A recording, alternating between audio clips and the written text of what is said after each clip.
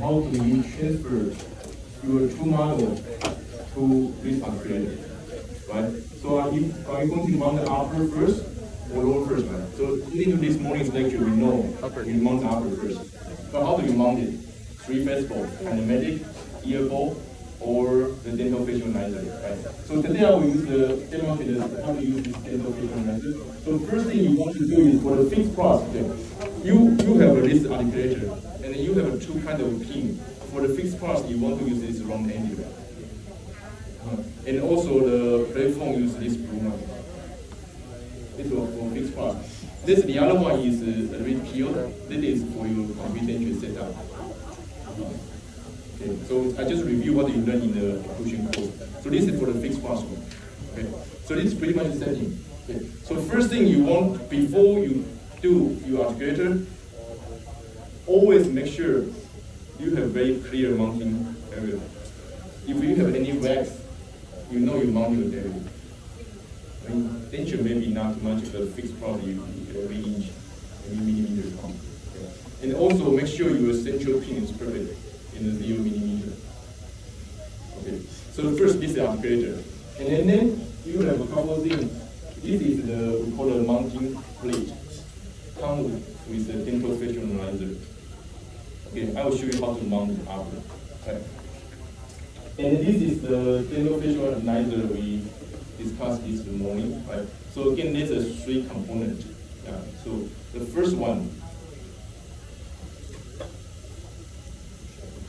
is brand new, so it's very, very. I believe in you.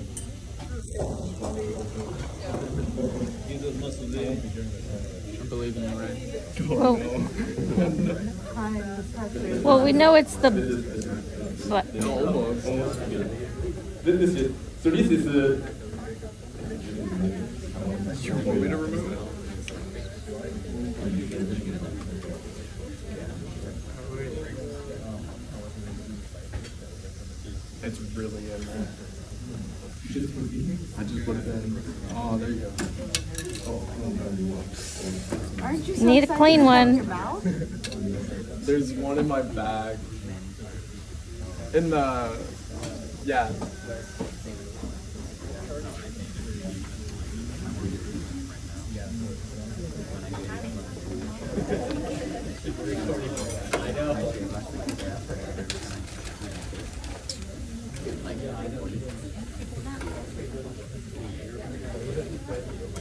So this is your first component, correct?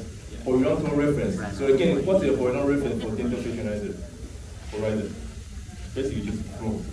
Right. So when I put this one into Ryan's mouth, I will just make sure, first make sure it is stand and way up and right. Don't want to tear either, either way. Then make sure this one go inside that's it. That, that, that, that's it, really. The second one is this component is vertical rod. So vertical rod basically just engage with the, you don't want to push all the way in. Just probably, I would say about one third. And again, what, what is your reference for this one? Is the facial midline. Right? More specific is from the parent line and then from your between the eyeball and over the chin. Okay, right. And then the, the, the third part is this one. So in each patient, this part, these two can, basically you can just sterilize, high pressure sterilize, but this one only cold sterilize. And do you see the, this is a mounting plate, and do you see the anterior stop? Yeah, this is the very important stuff. Most people mount it wrong just because here. Remember the article I showed you this morning? The reference of this, uh, this design have you heard about the, the article you, the Bonwill triangle? It's from the condyle. Let's say this is the patient's mouth here. So from the condyle to the patient's incisor edge is about 100 millimeters. So if you measure here to here is 100 millimeters. I mean, condyle to here is 100 millimeters. Which means if you're mounting, when you when you do the take a bias, your incisor edge and here A9 need to against this pressure. Cannot be here, cannot be too far. If you don't against this one, which means you are not in the 100 millimeter the range. then you introduce more error. Okay, so this is three critical areas. So I will use uh, Ryan as a reference, the example. And in your whole package, you also got this one. This is called, uh, basically this is compound bite tab. And this bite tab I can show you maybe. Some of you didn't get this one.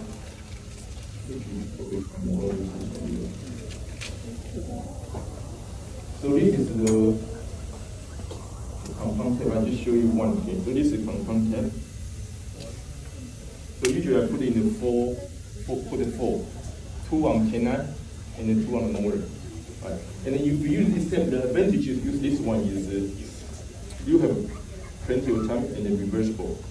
So basically, you put the one, two, three, four, and just soak in the warm water. So basically, you warm up this one, becomes soft. Then you have plenty of time to adjust.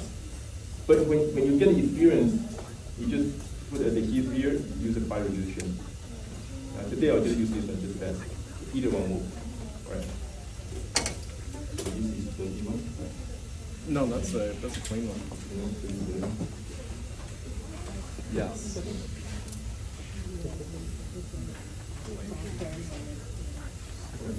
So when you take the facebow, they are literally two, if you look at the the demonstration, literally there are two methods. One is uh, let the patient completely lie down on a chair. So let's say this is the patient, you let the completely here, right? Right, so remember this one, this horizon is parallel to the floor, which means perpendicular to the, to the floor if patient completely like that. But I, I have a hard time to take because I'm in a close competition. I have a hard time to see. I always see from the one angle. You want to go? And in my head, I just, I just, I just think. So the other way will be let the patient sit upright, right? But if we taller than you, just let him, it maybe not, you know, he can stand, up. Probably five people. I'm than that. Yeah, thank you. So you see, let the patient just stand up, right? And most of the time, I just let the patient against my office and the, the wall. This way I have a good support. Right? And then, then how do you determine your, your head position?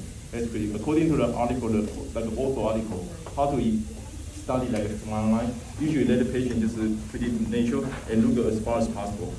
Then they will be pretty straight. I don't want to peel up, peel down. Okay, so like this one. So your guidance, let the patient just look straightforward and just pretty natural. That's it. Right. Brian, we're a zombie. So, yeah, right. so the first thing is I put the, uh, let me take out, okay, just put the, the violin plate first. Okay. So, you see the, like, a open, the patient open? Yeah. So when I press in, I don't against patient's upper arch. That is for earbow facebow. If you do earbow facebow, you do this way. That you place basically against right our. Right. But if not, if you use this, this dental visualizer, your, your horizon is the reference, right? So basically, just make sure the anterior stop, start on facial incisal edge.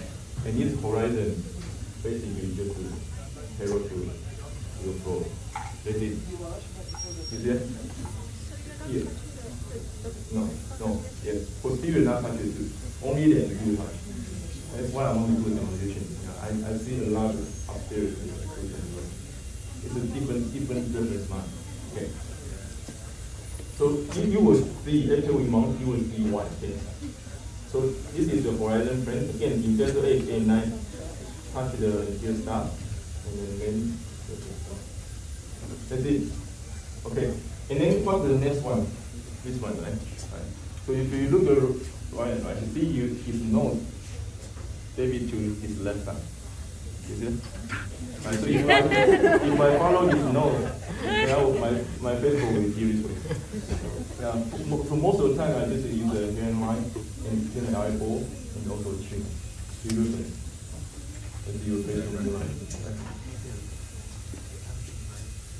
So again, against the incisor edge, use some parallel to horizon, and then, then your facial midline follow your vertical rod. And then what? And then you just the or combine. Just for that. Meaning, this is- You can do every day. But it sounds easy, but actually it's more, I would say, it takes a you more practice with your eyes. Because it's easier for you to do like a, at the horizon. Trust me, if you ask your dental assistant to, they will say, okay, this is parallel. You know what I mean? So because now you have a two-year training, so you train your eye pretty so you can do it. So when you, if later you let the student do it, make sure they know what is the horizon. So always do. Right. Right. Any, any question? So when you're placing the, the plat, the white platform in the midline of the centrals, and if the facial and the dental midline is not coinciding, then what do we do? Because we're trying to, um, uh, Very good question. So you see, remember this one, when I introduced this one to Ryan's mouth, and I only work on the patient's facial midline. I didn't look at the, this platform. You see this platform? There's a notch here.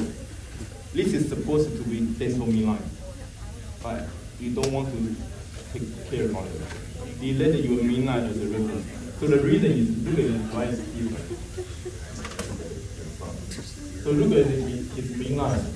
His midline is pretty up, but slightly tilt to his left side, right? So in this case, after I mount it, I should see the same relationship in the articulator. When I mount on the articulator, when I mount artic- so in the articulator, this is the facial midline.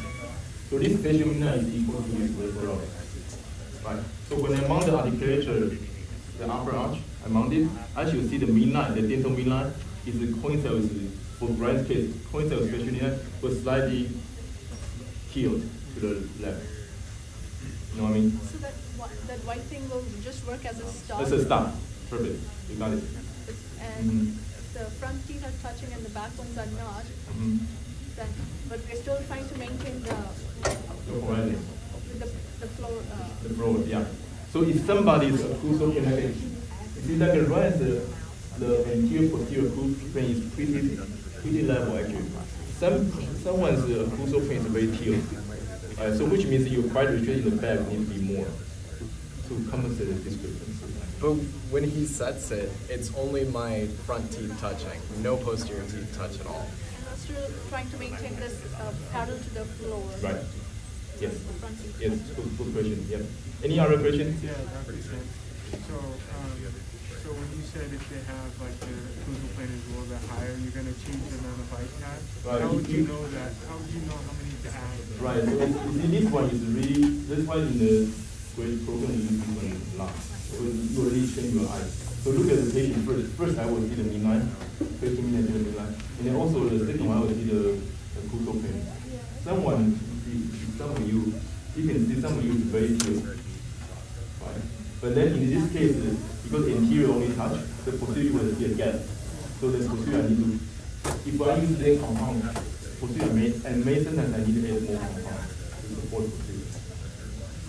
So most people using and right normal range. Okay, any, any other question? Okay, so this will be really quick, okay? So this is, so basically you have a horizon plate, vertical rod, and then, and then your plate. okay? All right, and then usually I just use this pipe, okay? Put it in the, the adhesive.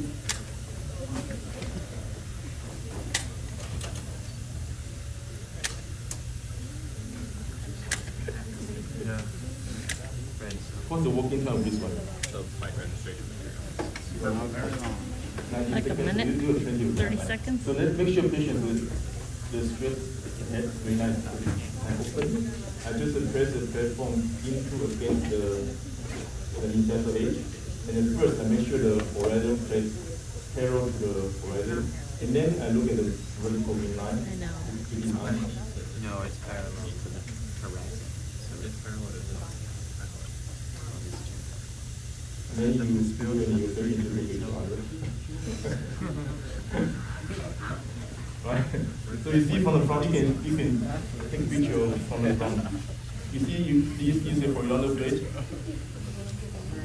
Pretty parallel the floor, right? And look at the mean line. Just follow the facial mean line. I don't look at the dental mean line at all, and I don't look at the, the plane at all. Right? So after this set,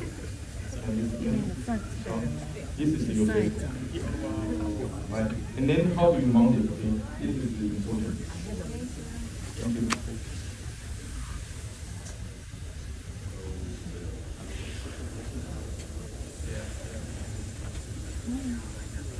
So again, this is what I'm talking about in lecture here. So now after I use the impression line, lower this one is PVS, which one more accurate? This one more accurate. Right? So if you put the non-accurate model, I mean relative to the accurate model, you will feel some bouncing. You can feel some distance. Right? So this is very detailed. So first thing we will do is, uh, I think you can see. So you see this is very accurate indentation, second anatomy, and uh, including the embryo over here. So the first thing, either the face bow breaker or the first thing you do is just use the sharp black to remove those details character. The all you need is just have an indentation as well. So let me just show you.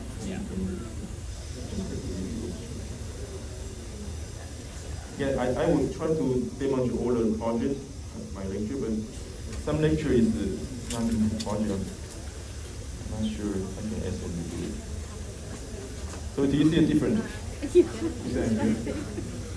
I see, do you see a difference? Right. So this way you, you make sure, it, it, just small thing make it really different. Why the compact I barely touch? Because just those different. different. Right. So do you understand the same thing? Okay? Dr. Chen, can we see it over here? Can we see what you got? Yeah, Right. Ah. Right, see it's different? I just basically remove all those uh, those too detailed indentation. Like a Too buccal, deep one. buccal incline. It takes it only the first millimeter or so of the tooth, so that it'll set in. Right? You see, as long as you have loss in it, it's plenty. It's, it's plenty. So really, you don't need to. If you put too much material, you just waste your waste your time. Right? Right. So with this one, and then also only after you take the impression, your your stomach always some bubble, right? Even I took the impression, I just took impression is always have. Except for right, this because won't work. There's always some bubble, some void. It is my. Just make sure you clean out all the void in the top. Oh. Yeah. Just all, all those details, the- all the case I show you, so you clean all those details, you can get huge outcome. So you see the difference. After I trim it, just one six minutes, very stable. You don't see bouncing anymore. It makes sense, right? You don't, right?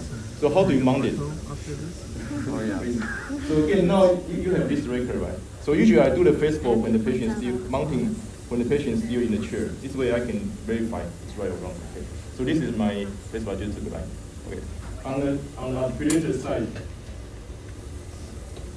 you have a everything setting zero degree, everything right. So your this is your mounting plate. And also you make sure this is in a zero degree plate. Okay, so do you see the same four hole here? This is just uh, to accommodate your pipe, the white plate up right here. Makes sense. So let's, let's remove it. You didn't drop it on the ground. And then you put it here.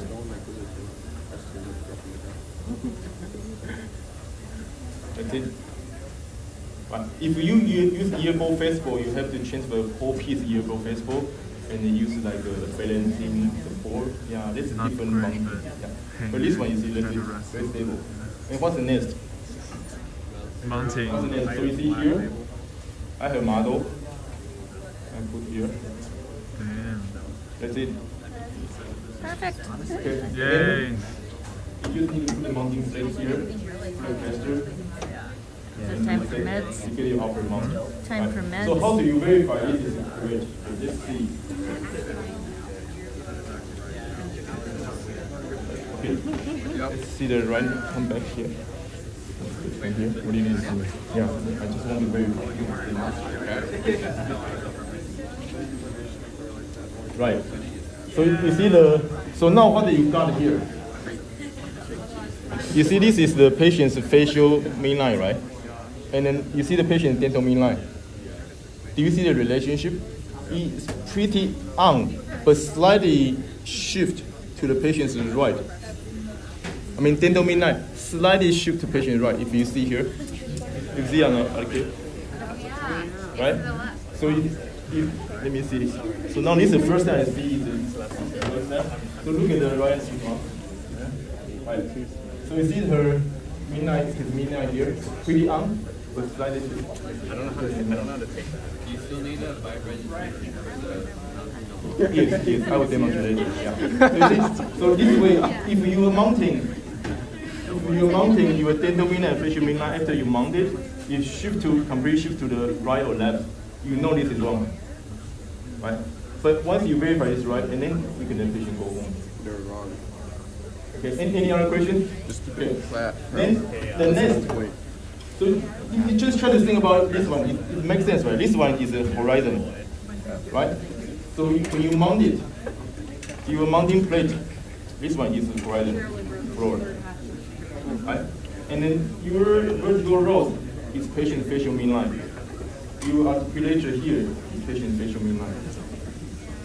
And then once you are your condyle to the incisal edge, 100 millimeter, average for the most 85 percent is 100 millimeter.